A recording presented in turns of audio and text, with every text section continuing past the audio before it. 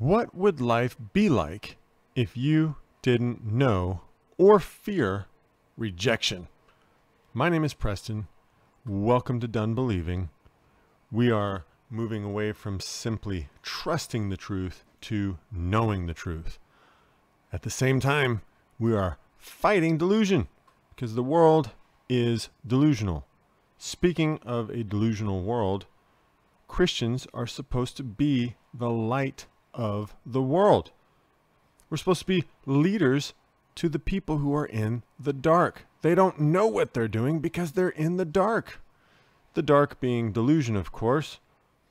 Rather than being leaders to the world, however, most Christians believe Christian philosophy.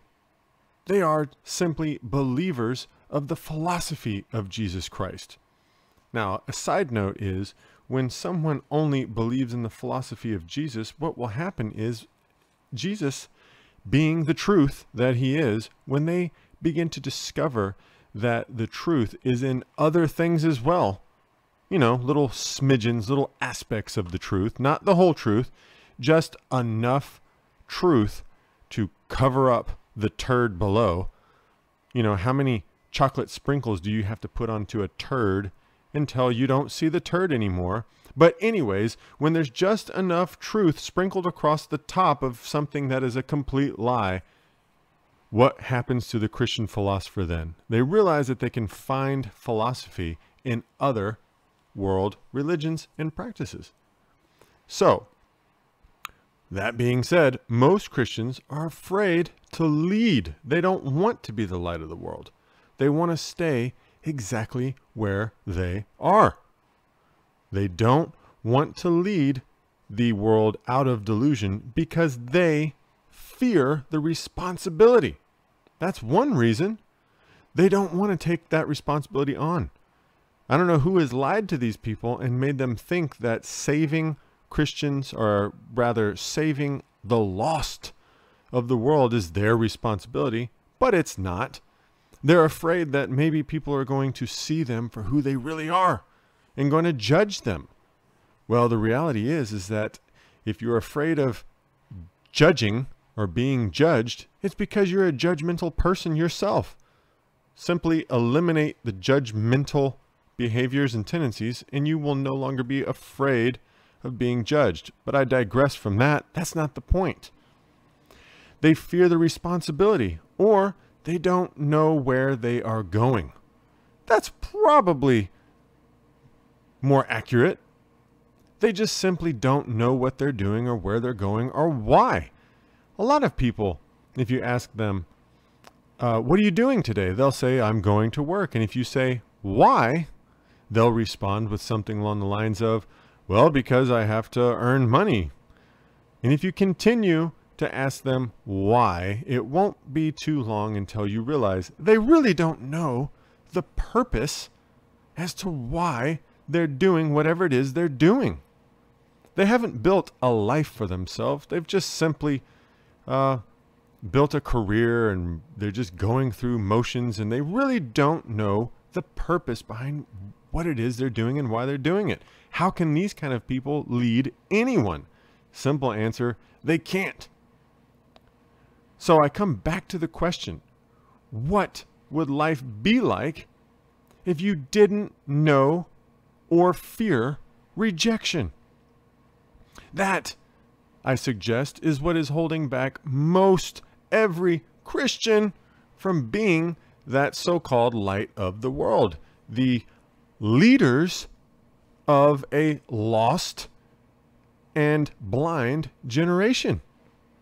So, what would happen if you didn't have this rejection anymore? You weren't afraid that you were going to be rejected. You weren't re- afraid that you were going to be judged because of your responsibilities and handling your responsibilities irresponsibly. What would it be like? Let me tell you. You would know your full potential.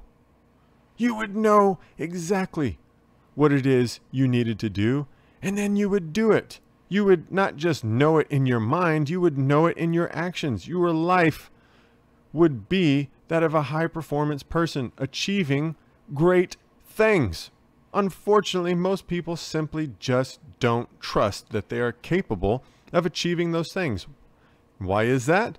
Because they're afraid. They're afraid of failure. They're afraid of rejection. They're afraid of what they might look like.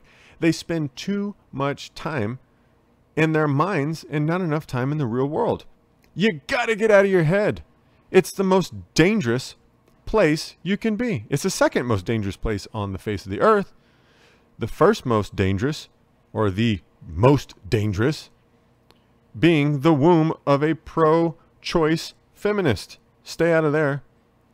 What else would happen? Well, you wouldn't procrastinate.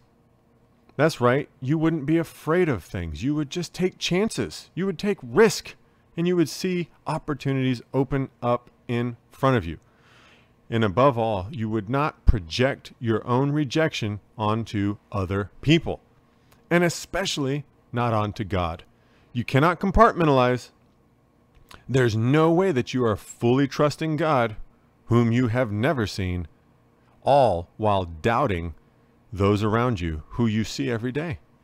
You can't keep yourself from projecting ill feelings onto your Heavenly Father if you're already doing it with other people. If you're afraid that human beings are going to reject you, how much more with this all powerful, all knowing God that knows every one of your deepest and darkest secrets? How much more would He reject you? You got to get out of that thinking. You got to get out of that mindset. It doesn't work. The reason that I don't have to believe what I'm saying is because I know for a fact it doesn't get you anywhere. A life filled with the fear of rejection is useless. If you want to start leading your life instead of being drug along by your life, you've got to understand two things. Number one, you are an overcomer. You've got to overcome. That is the life of a Christian, is someone who understands we got to overcome these things. And two, you will move away from the fear of rejection. Begin to trust God. Stop projecting these things onto God. You got to take a stand. You got to move away from that.